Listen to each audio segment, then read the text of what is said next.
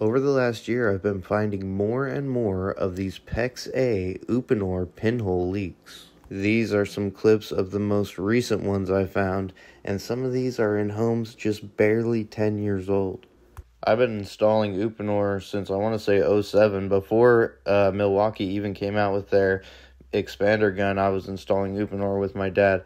So I've always been a big believer in Uponor. So I'm not sure if this is exactly Uponor's fault or if it's installer error because I didn't install any of these lines.